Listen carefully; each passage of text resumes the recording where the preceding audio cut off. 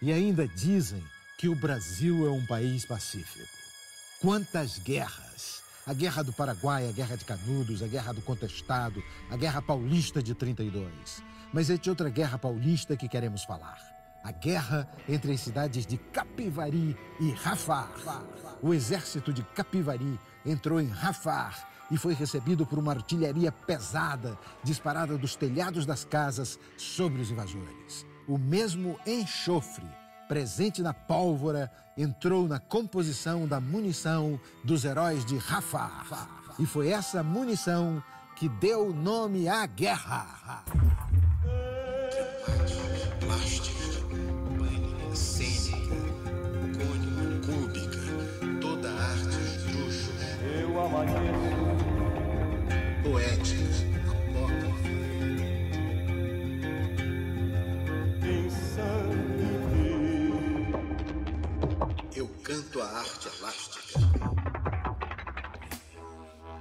Paulo Betti.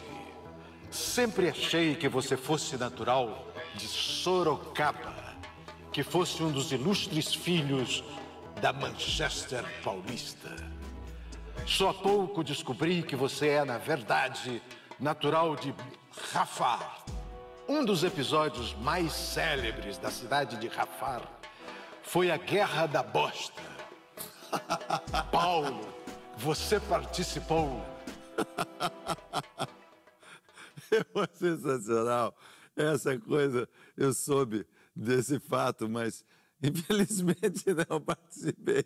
Eu já tinha saído de Rafah, porque eu saí de lá com três anos e fui para Sorocaba. Quando eu saí de Rafah, é, eu che- eu cheguei praticamente a nem eh, passar pela cidade, porque nós, eu nasci num, num, num, num canavial e depois de lá mudamos para Sorocaba. Então não tenho participação nesse episódio.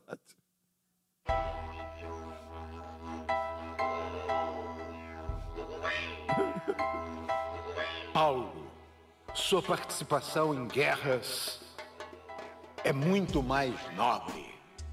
Direta ou indiretamente, através dos seus personagens, como em Guerra dos Canudos, o filme do Sérgio Rezende, ou como o Capitão Lamarca, no filme Lamarca, para ficar nesses exemplos expressivos e diretamente na sua militância política.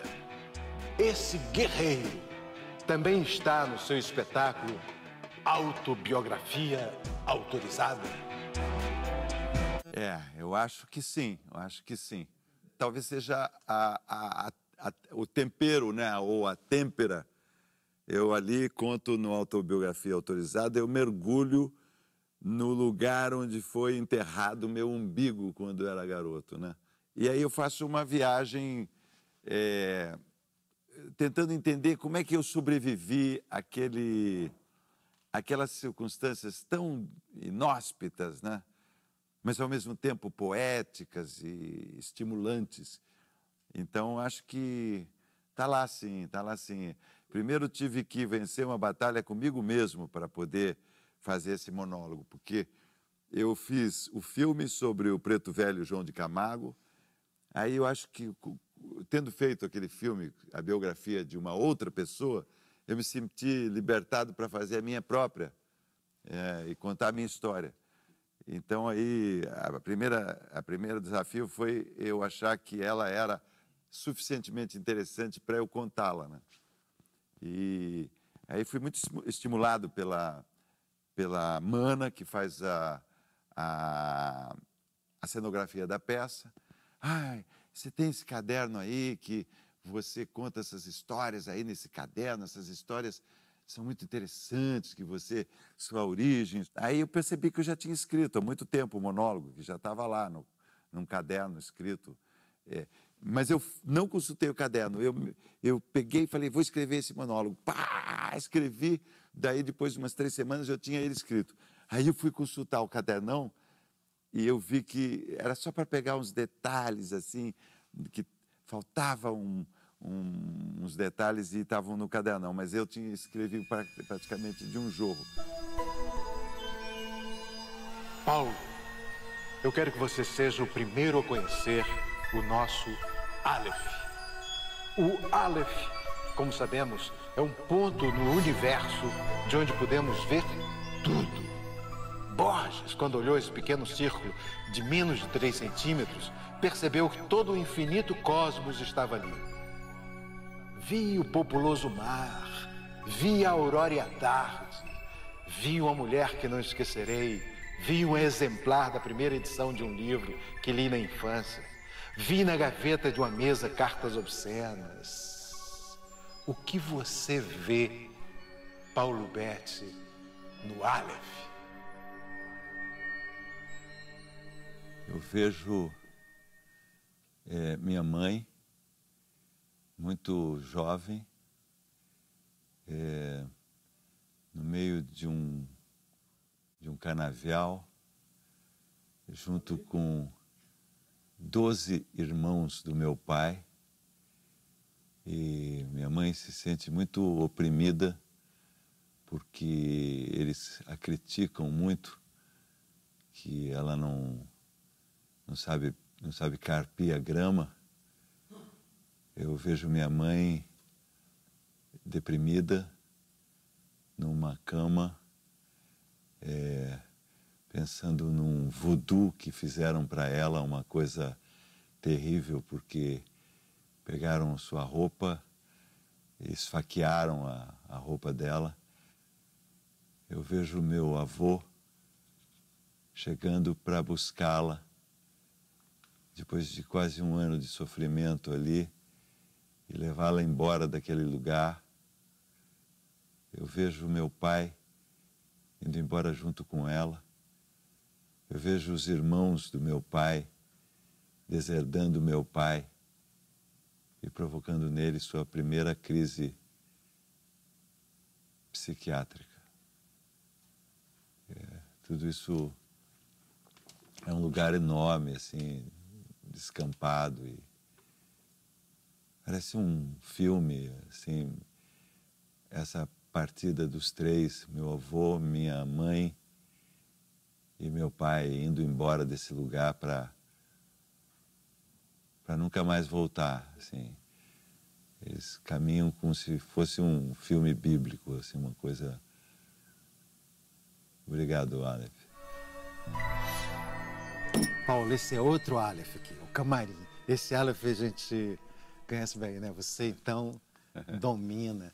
Aqui a gente vê um lugar e o que tem de especial nele é que você vê um lugar e, e entra nele. Você vê uma Noruega daqui, Uhum. Aí você só vai aqui, bota alguma coisa e, e vai para a Noruega com o Ibsen. É. Você já foi a muitos lugares a partir do camarim, Paulo? Já, já. E eu tenho pensado muito no camarim ultimamente, porque é. Eu, é, o camarim é um lugar assim, parece avião, né?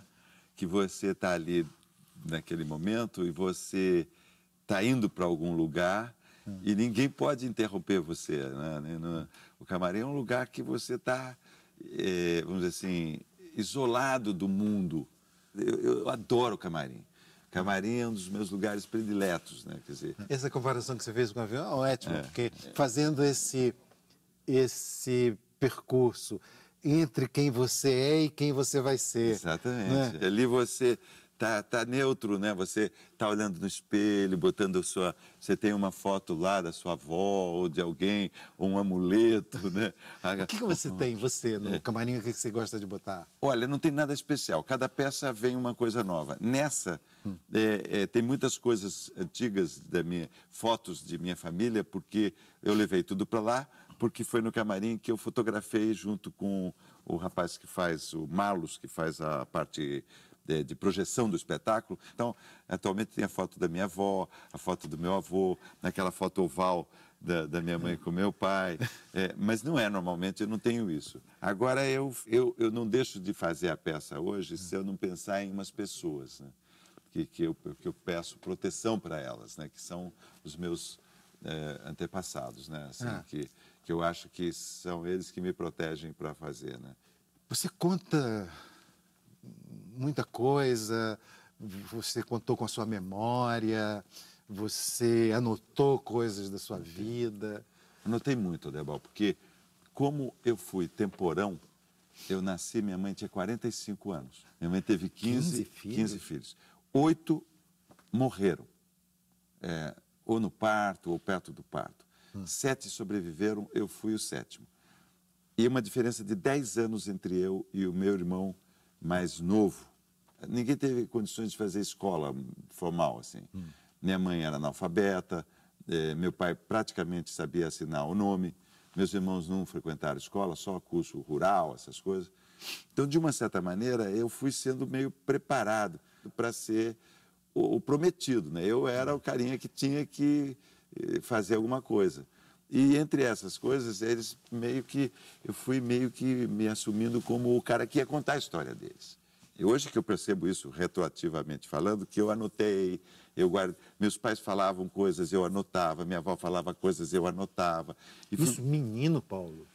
Olha, eu lembro de uns, uns 14, 15 anos, Ah, assim. eu assinava o Estado de São Paulo com 15 anos, o jornal. É, eu tinha, o meu bairro eram quatro ruas de terra, um- uma espécie de quilombo. Eu tinha assinatura do Estadão. A única assinatura do Estadão que tinha naquele bairro era minha. Então, aquele suplemento literário. Aí eu tinha assinatura daquela, da, da, da, da coleção Saraiva. Chegava o, o homem de terno, com uma maletinha, abria, tirava lá Orígenes Lessa, tudo com aqueles desenhos do Nico Rosso. Então, é, eu eu não sei, tinha E uma... a tua família, e o que, que achava, assim, por exemplo? Minha, minha família, minha mãe, como não sabia ler, eu estava lendo gibi, ela falava, não atrapalha o menino que ele está lendo, que ele está estudando. E estava estudando realmente o gibi, né? Era- Claro. Mas eu falava assim, a mãe não sabe que eu tô, que isso aqui é diversão, que para mim era outra coisa. Mas a minha família, então, sempre meio que me encaminhando as coisas, assim, né? E eu fui, eu me lembro, assim, de uns 15, 16 anos, escrevia umas poesias sobre o homem na terra, porque meu avô era um camponês, um lavrador, né? Eh, aliás, eu- a gente falava lavrador. Eh, meu avô era um lavrador, então eh, isso tudo, eh, por exemplo, eu guardei o atestado de óbito do meu avô, o atestado de óbito da minha avó. Que- E eu- você mostra no espetáculo? eu, eu mostro muita coisa assim. Eu não mostrei o atestado de óbito deles no espetáculo, porque não- não- graficamente não era tão mas eu falo. né? Fala. Mas eu tenho o documento. Você tem. Tenho o documento e mostro coisas assim, parecidas com essa. A faca que minha avó eh, eh, matava o porco, eh, eu herdei. E então eu sempre tive no- no- na, na minha escrivaninha eh, essa faca. Você usa para abrir livro? Hoje os livros Não, eu, eu, eu sabia que aquilo. Eu tenho o cachimbo que meu avô fumava, porque é, a, entre a herança do meu avô foi um cachimbo velho, um canivete e um, pedaço de fumo de corda que a minha mãe me deu. Falou assim: olha, isso aqui que o seu avô me deu de herança, entendeu? então eu guardei isso. Eu tenho, por exemplo, o passaporte do meu avô. Quando meu avô veio da Itália, acabei ficando com o passaporte dele. Os meus quatro avós eram todos italianos, sendo que eu tive mais relação com o pai da minha mãe. Mãe. É. Aliás, a, a, a Debal, eu percebo assim, pela minha própria investigação com a minha autobiografia, que eu fui fruto assim de uma história de amor muito interessante. Meu pai e minha mãe se amavam muito. Meu pai é esquizofrênico e então assim, às vezes eu mostro na peça assim o atestado eh, do grau da esquizofrenia do meu pai, do sanatório que ele estava internado, entendeu? Eu tenho esse atestado. Tem umas coisas assim que eu colecionei, né? É, e- mas a minha mãe e meu pai nunca se separaram, se amavam, apesar do grave problema que o meu pai tinha, né? Então, é, então é assim, assim, esse amor e a escola pública é que seguraram a minha onda. Né? Não existe. A coisa mais importante que existe é a escola pública. Isso, é, a conclusão toda que eu poderia chegar e falar assim: olha, é o seguinte, gente, com escola pública, a coisa boa, a coisa se resolve. Isso que foi a coisa que segurou a minha onda, entendeu? É, o meu bairro era muito rico, né, Debal? Porque tinha escola de samba, tinha três escolas de samba que saíam desses Era quatro. rico culturalmente. Culturalmente. Três escolas de samba saíam de um buraco assim de terra, né? Um, Ali tinha eh, gospel, então tinha aquele som, aqueles lamentos, aqueles instrumentos, né? E, e, e, a minha família de italiano ali, misturado nisso tudo, né? Meu pai era, era servente de pedreiro do Zelão. Zelão era um pedreiro comunista, clássico, assim, que me deu um livro do Prestes, né? Zelão é uma figuraça. Então, eu tinha que ajudar, né? Ajudar a internar meu pai, ajudar a botar a camisa de força no meu pai, adolescente, né? Ele tinha esse grau de. Meu pai tinha que botar a camisa de força. Naquela época, o, esse lugar que o meu pai era internado chamava-se Associação Protetora dos Insanos. Meu pai foi internado no Franco da Rocha. Quando eu vi a reportagem do Audálio Dantas na revista Cruzeiro, eu falei: caramba, era aí que meu pai ficava internado. E de, esse lugar hoje já não existe mais, mas há pouco tempo atrás chamava-se eh, Jardim das Acácias. Virou uma coisa, tinha jornal, jornal pela internet. Hoje o tratamento médico para psiqui psiquiátrico mudou muito, né? É, é. Mas antigamente era, a gente imobilizava meu pai, levava para a cadeia pública, onde ele ficava lá três, quatro noites na cadeia, até conseguir a vaga no hospital psiquiátrico. Então isso, porra, né? Isso cara, foi devastador para mim, assim. Podia ter sido uma infância infeliz, se não fosse uma maravilha. Temos que interromper o programa. Os marcianos invadem a Terra. Orson Welles mandou os marcianos embora. Volta o programa. Isso que me animou a, a, a, fazer o monólogo, porque eu comecei a falar assim, bom, meu avô era um imigrante italiano que trabalhava como meeiro de um fazendeiro negro o proprietário das terras onde meu avô trabalhava era negro. negro. Eu falei assim, pô, quando eu falo isso, as pessoas falam assim, opa, isso é interessante. Era. Então, aí comecei a pensar nisso. Quer dizer, eu ia na roça do meu avô e via a casa grande e de lá saía um homem negro. E eu estava na senzala. Daí, então, ele saía com o carro, tinha uma menininha negra, da mesma idade que eu, e minha mãe falava, ah, o Paulo vai casar com a Nazaré, que era essa menininha. Que era filho do que dono é filha da do dono da terra, onde meu avô era quase que o escravo. E minha mãe alugando cômodo do fundo, e a minha avó matando porco, e meu avô parecia um índio carregando umas toras na co nas costas, né? Meus irmãos todos operários daí, porque já em Sorocaba foram todos trabalhar na Manchester Paulista. Na Manchester Paulista. É. E, mas ao mesmo tempo tinha São Bento de Sorocaba, né? Entrando para a primeira divisão, e o Pelé jogando no nosso estádiozinho pequenininho, né? A gente enfiava o braço assim pelo alambrado e pegava os jogadores adversários assim pelo cangote. E tão pequeno que era nosso Você é torcedor de São Bento? Totalmente. Até hoje? Até hoje, agora estou acompanhando muito, porque essa fase boa do São Bento, que o São Bento está na primeira divisão, e bateu o recorde do Campeonato Paulista de todos os tempos, de maior número de empates. O que é uma coisa muito democrática. O São Bento não ganha do time adversário, também não perde. Mas o São Bento nunca foi campeão. Não, chegou uma vez em terceiro lugar do Campeonato Paulista. É. Meu ferroviário é. foi umas cinco vezes o mais campeão, mas o meu ferroviário. Mas o seu não. ferroviário também é de, do Ceará, né? Estamos falando do Campeonato Paulista. Estou brincando. A gente jogava contra o Santos no campo do São Bento, né? Vocês lembram algum craque do São Bento, assim, aquele que ficou. Pô, cara, você não sabe. não, tem assim. Marinho Pérez. Foi o único que entendeu o que aconteceu naquele jogo contra a Holanda Né, que é o carrossel holandês acabou com a seleção brasileira, brasileira é. o Marinho sacou o que, que aconteceu. Tanto que o Rinus Mitchell levou o Marinho para o time dele. O Marinho se tornou um grande técnico de futebol depois, em Portugal. Ele foi, fez o Paulo Autuori, que é um técnico formado pelo Marinho. Outro grande jogador de lá foi o, o Luiz Pereira. O Luiz Pereira zagueiro também, central zagueiro do São central, Bento, zagueirão. ponta esquerda Paraná. Não, Isso só da minha época. Foi da seleção brasileira. Paraná jogou no São Paulo. Ah, acho que eu me lembro. Paraná jogou no São Paulo depois do Canhoteiro.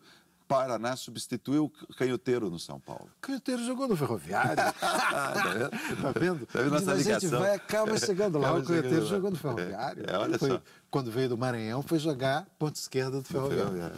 Bom, é, Isso é a coisa mais importante. é, mas, bom, esse parênteses futebolístico.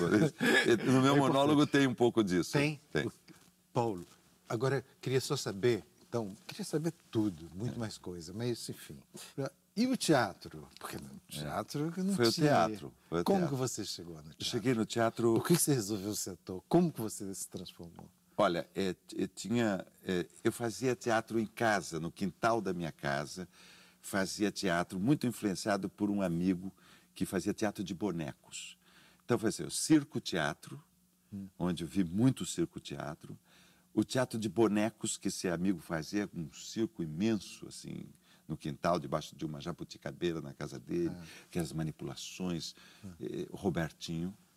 E depois os padres salesianos, que influenciaram para a gente criar um grupo de teatro. A gente montou o Rapto das Cebolinhas.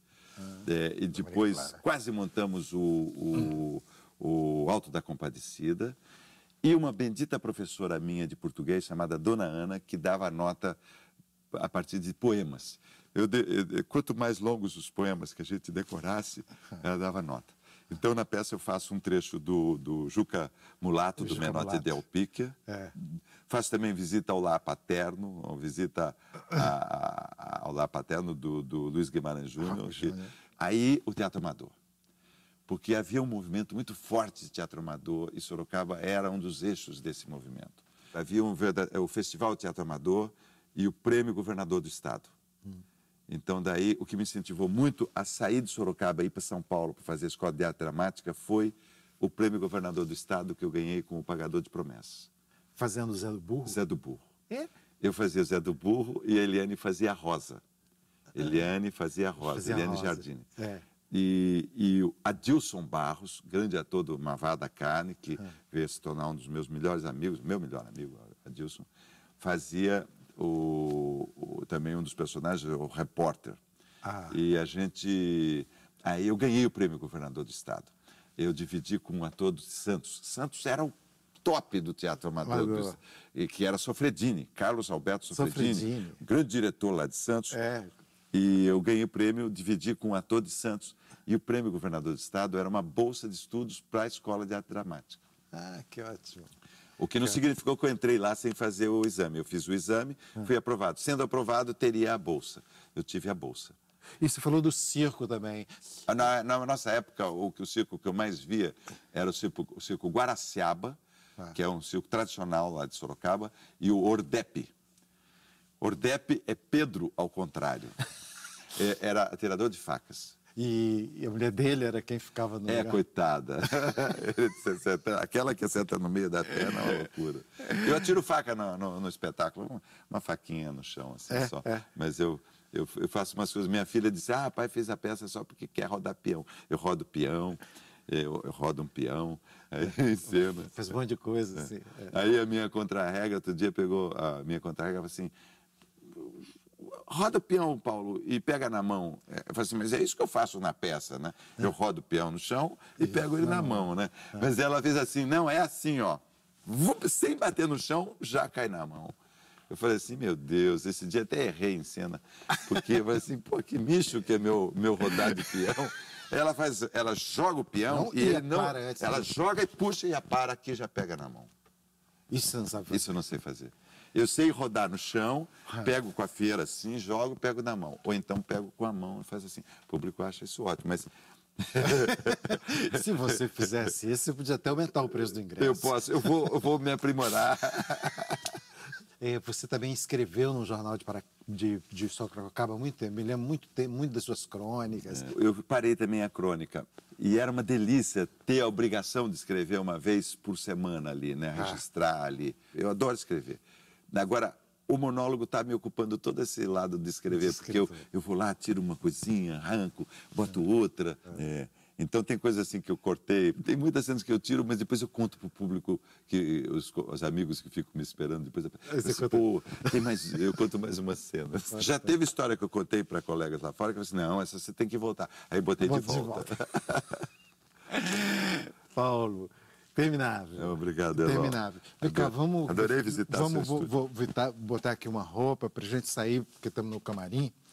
Escolhe aqui, eu tô te dando essa, mas pode Ah, ser mas qualquer essa eu gostei dessa. Gostei Gostou? dessa. Eu vou Gostei essa dessa. E vamos entrar em cena, porque Vamos já está na hora da gente. Eu posso fazer o, Ah. o, aqui a morte de Afonso VI, que eu fazia É? na escola de arte dramática, como que assim, saque a sua empada, impotor. Saque a sua empada, impotor. Impotor. É. Eu entrei em cena uma vez e falei assim, na escola arte dramática, mas eu falei direito. Senhor, acabam de chegar um dos esculcas que andam disfarçados de besteiros no arraial do infante. Disse o cavaleiro, da rebate que a hoste rebelde caminha para esses sítios. Não sabia porra nenhuma do que isso significava, mas... Da rebate que, a hostes, que as hostes rebeldes caminham para esses sítios. Você entendeu? né? Agora sim, mas quando você. Quando eu você falei me como contou. ator... Como não. ator, não. Da rebate que a hoste rebelde caminha para esses sítios. E antes, e antes, Paulo? Acabam de chegar um dos esculcas que andam disfarçados de besteiros no arraial do infante, disse o cavaleiro. Era um- um- uma parte. Senhor, trouxemos um câmera de Sorocaba. Oh, não! Estou surpresa! É ele! Só para Yuri! o mundo vai se render a nós brevemente, Yuri. Engano lá, mas eu vou xingar também. O, o mundo será nosso. Vamos em cena. Vamos em cena. Vamos em não. cena, vamos em cena. Tem que fazer o nome do pai Não, e vai. tem que bater na madeira. Bater na madeira. Oh, mísero de mim! Oh, infeliz!